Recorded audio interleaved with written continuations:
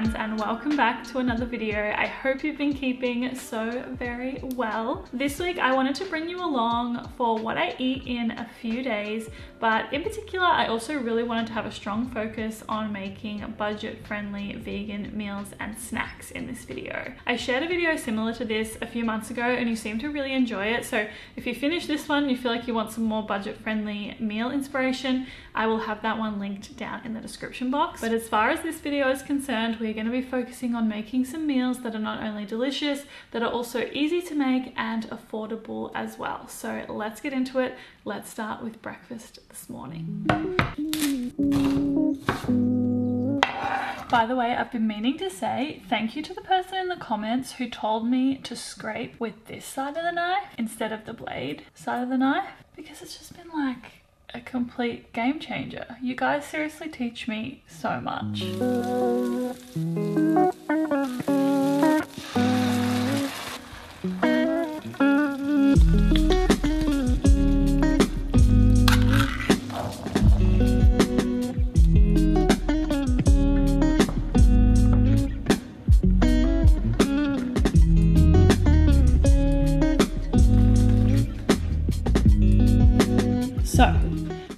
Wanting to try this hummus pasta for a while because I have seen it online so many times. This is such a budget friendly meal to make. If you have the time, you could make your own hummus, which would end up more affordable in the long run. I just got some hummus from my local supermarket. I just got whichever one was on special, to be honest, and was the most affordable and went with that. And all I did was mix some hummus with some of the pasta water as well as some lemon juice, salt, and pepper to make like the pasta sauce. And then I've just got some pasta, which is such an affordable staple. I always make sure to have pasta in the house. And then I also added in some cherry tomatoes and some spinach because they are affordable here at the moment. When it comes to putting veggies in pasta, I honestly just mix it up based on what I have in my fridge or my pantry at any given time. Last night, my boyfriend made us a creamy pasta and we had broccoli, kale, and sweet potato in it, and it was super good. So, I definitely encourage you to use whatever's in season and affordable uh, where you are or whatever you have on hand already. But yeah, this only took 15 minutes to make as well, so it's actually a good working from home lunch as well. Um, and you could also bulk prep it if you wanted to. Let's see how this tastes. It's still very, very steaming hot right now, but let's see how it is. Mm. The internet is definitely right with this. It is super, super delish. So in the afternoon, I decided to do a little bit of sweetie treaty prep. And I started by blending some oats to make an oat flour, which is a really affordable and nutritious base for a sweetie treaty. Uh, I added this into a bowl with a little bit of salt and then I added in some maple syrup as well as some vanilla and some melted coconut oil. Then I mixed this together until it was nice and smooth before I added in some vegan choc chips and continued mixing this. From there, I then rolled them into little cookie dough balls and I placed them on some baking paper that was on a chopping board. And then once I'd used all of the mixture, I transferred this into the fridge. I also had some leftover uh, chocolate, so I decided to do some uh, strawberries dipped in chocolate, which I was going to put in the fridge because strawberries are very much so in season here right now, and I have been very much so enjoying them. And I love chocolate dipped strawberries so much. They're one of my favorite things, like in the world in general. Okay, so I have had a very, very good snack making afternoon. I made these like cookie dough ball bites with coconut oil, some maple syrup, and some oat flour. For me, when I'm making something like this, because I do like to use almond meal a lot when I'm making treats and stuff like that, Almond meal is definitely more of a pricey ingredient, but with my little mini food processor, I actually really like blending up oats and then having like an oat flour through them, which is a really good base for like a lot of sweet homemade treats. So that's what I did with those. And then I also just spontaneously decided to do some chocolate covered strawberries because I had leftover choc chips and I thought why not melt them? And honestly these are one of my favorite snacks strawberries are really affordable here in Australia at the moment. They've been like two dollars a punnet which is so good. So I've been enjoying them with like granola and stuff like that. But I also am such a chocolate girly that I really enjoy having chocolate covered strawberries in the fridge to enjoy for a few days. And with these oat flour cookie dough balls as well, I'm definitely gonna be set with sweet snacks for the week ahead. Anyway, I'm going to put these into containers and into the fridge and then I'm going to get into preparing dinner. But first things first, I want to say a big thank you to my friends at Squarespace for sponsoring today's video. I recently updated my website with a bunch of new delicious vegan recipes, so I'll leave that link down below if you do want to check it out. If you're ever looking for some inspo, you can go to www.amandaducks.com and I like to try and keep it as updated as possible. And for those of you who don't know, I host and design that website using Squarespace and I've been using Squarespace for years. It's one of the most user-friendly platforms that I have ever used in my life. Whilst I'm very comfortable with video editing, I'm very comfortable with creating recipes. When it comes to the website side of things, I wasn't very confident going into making my website, but honestly, Squarespace was like above and beyond in terms of like ease uh, than I expected. So it's honestly just been the biggest no-brainer for me to use Squarespace for a lot of aspects of my business. First of all, the blogging features are just seamless and so easy to use, so easy to duplicate blog posts to ensure that everything is in the same format across the website. It's also super easy to list my ebook and to be able to sell my ebook. The back end of Squarespace, the commerce back end is again seamless. I feel like if I had to describe Squarespace in one word, it would be seamless or like easy or something like that. And then also being able to link all of my social media in one place is so perfect because obviously there are many different platforms that I am working on and I want everyone to be able to get as many vegan recipes as they would like. So if you're ever looking to host or design your own website, I highly recommend using Squarespace. You can go to squarespace.com for a free trial and when you're ready to launch, you can go to squarespace.com forward slash Amanda Ducks and you can use my code Amanda Ducks which gets you 10% off your first purchase of a website or a domain. Okay, time to put these away and then we're getting into making dinner and tonight I am so excited to make dinner. I'm gonna make a shepherd's pie. I haven't had shepherd's pie in so long and it is one of my favorite dinners.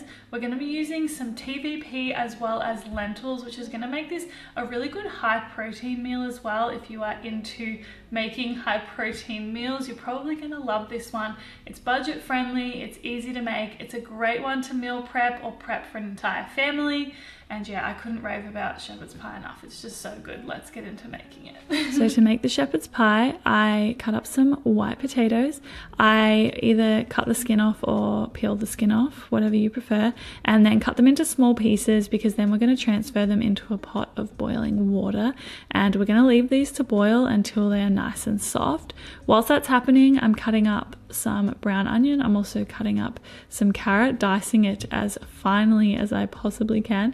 And then I'm also cutting up some celery in the same way, as well as crushing some garlic and then slicing that as well.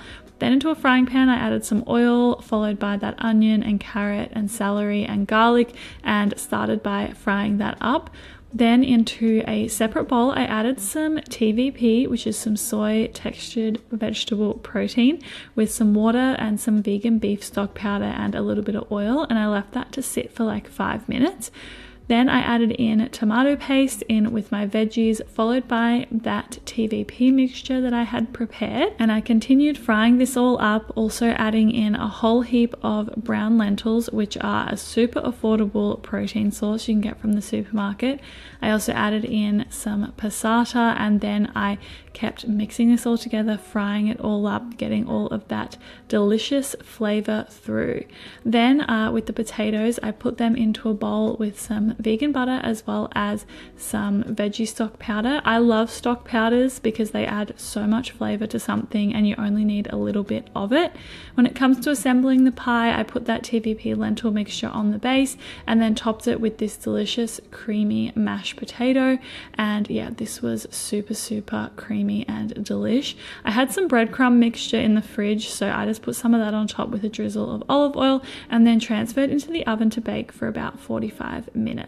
As you can see, it gets nice and golden on top and it is bubbling away, which we love.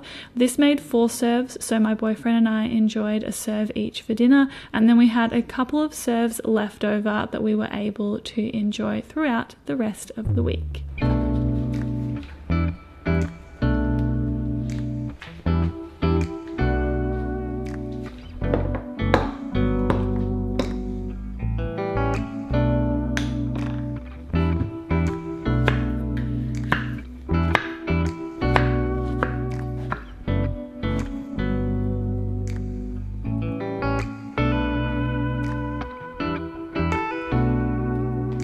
So breakfast this morning was some chocolate overnight oats, which actually reminds me so much of when I used to live in Melbourne because I used to have chocolate overnight oats for breakfast so often when I was working in hospitality and I needed to have a quick breakfast on the go. And especially as the weather starts to warm up here, I tend to crave overnight oats and smoothie bowls and things like that a lot more. And oats are just like such an affordable food. When it came to topping it with fruit, I just went for strawberries and banana that are both pretty affordable here at the moment, especially strawberries, as I mentioned yesterday. And so that was a really, really nourishing, quick, uh, and easy breakfast. I know that sometimes oats can seem like a little bit kind of boring. They're very, uh, very much so a go-to for a lot of people. But the beautiful thing about oats, and I think the reason why they are so popular is because you can literally do so much with them and come up with different flavors. Like I'm such a chocolate girly, so I love being able to put cacao and maple syrup into my overnight oats and then have something delicious and chocolatey for breakfast. Anyway, I'm about to make lunch and lunch today is gonna be so simple because I am working from home and I just need something quick and easy to make. So I'm gonna make a salad sandwich. I feel like salad sandwiches are so underrated. They are so delicious and once again, as you get into the warmer months, I feel like I just crave them so much and you can put whatever you like on them. So I have some hummus left over from my hummus pasta yesterday, so I'm gonna put that on there as well as some Dijon mustard, some avocado, tomato, red onion, greens, cucumber, and potentially some carrot as well. But this is your gentle reminder, if you haven't made yourself a salad sandwich in a while, now is the time to do so. They're a classic for a reason.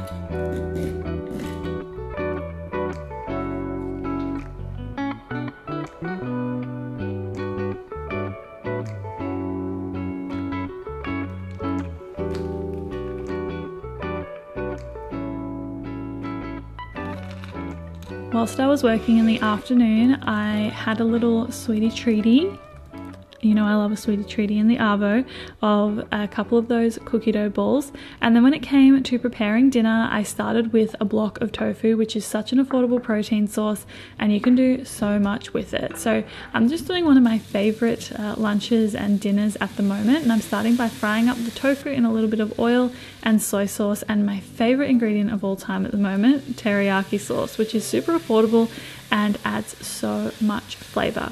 So I kept frying that up until it got nice and crispy and once it was getting close I transferred it onto a lower heat and then I was prepping some rice. So I had some rice in the fridge that I needed to use up so I just transferred that into a pan over the heat and added in some white wine vinegar as well as a little bit of sesame oil and uh, yeah I kept frying that up whilst I also cut up some cucumbers. And then I assembled this delicious bowl which was the rice, some greens, some teriyaki tofu, then I also added on the cucumber as well as a drizzle of vegan mayo. And then I also put on some fried onions as well as some sesame seeds.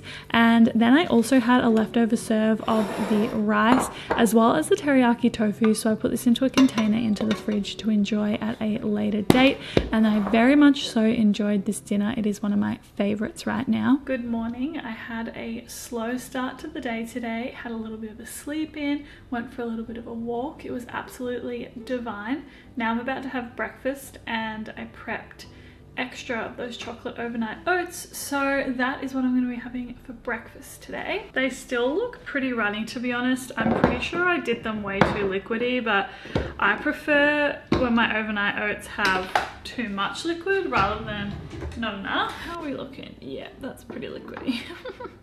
oh well, it just kind of makes it like a chocolate cereal kind of moment. So I'm just gonna cut up some strawberries and some banana to put on top. Again, I'm pretty basic with this kind of stuff. And this banana still looks decent, so that's good. I honestly feel like I'm about to go through another chocolate overnight oats phase, having done them in this video, because they taste really, really good. And they also just like fill me up so well and give me so much energy for like the morning, especially if I have a busy morning or something like that.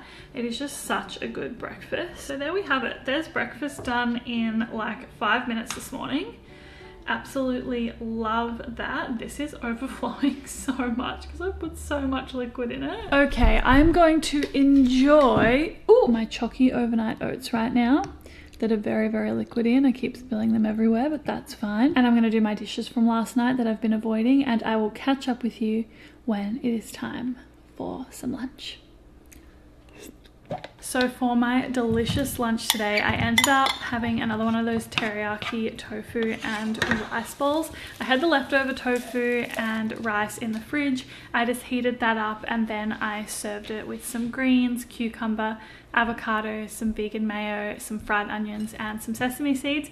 It was super, super delicious. Honestly, one of my favorite meals at the moment, and it's very, very helpful that it is easy to make on a budget as well. Honestly, one of the best things I've learned to do in terms of eating on a budget is eating my leftovers as well as repurposing my leftovers. Sometimes I'll have a whole block of tofu, for example, and I will prep like a whole batch of teriyaki tofu, and that's something that I can use in sandwiches. It's something that I can use in rice bowls.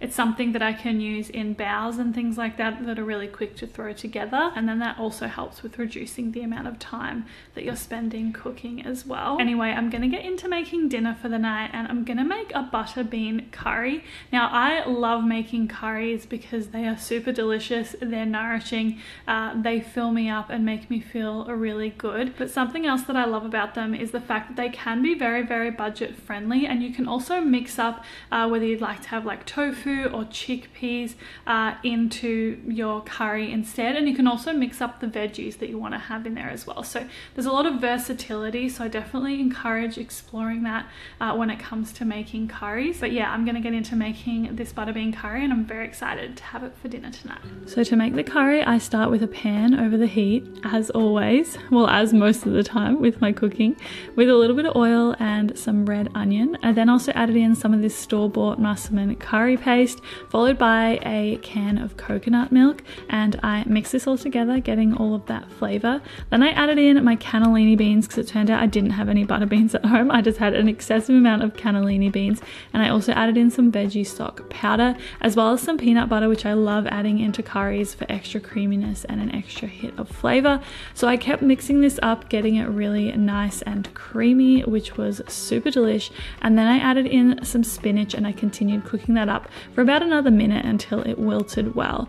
Then I transferred this curry into a bowl and I served it with some store-bought naan bread, which is pretty affordable and I very much so enjoyed eating this curry for dinner. And this very simple curry is gonna bring us to the end of a few days of budget-friendly meals. I hope you enjoyed this video and got some fresh new ideas from it. If you have any tips for eating vegan on a budget, feel free to leave them in the comments below. And as always, thank you so much for being here. I appreciate it so much and I will see you next week with another video. Have a good day. Bye!